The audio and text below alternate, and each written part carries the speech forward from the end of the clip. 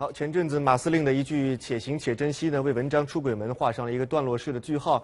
那么现在小两口似乎也已经回归到了平静的家庭生活当中了，而且据说在今年的呃下旬呢，这个夫妻俩还将再度合拍一部新戏，目前也已经在这个积极的筹备当中了。一身红色休闲服，外加黑超遮面。四月十八日，文章现身上海机场，有知情人士爆料，文章此行是要和马伊琍一同飞往北京。不过，蹲守的摄影师并未拍到马伊琍。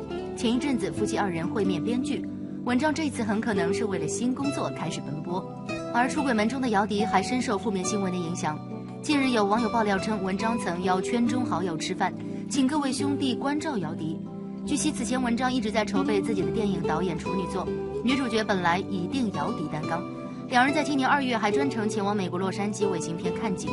不过，如今东窗事发，这部电影的拍摄估计要无限期延后了。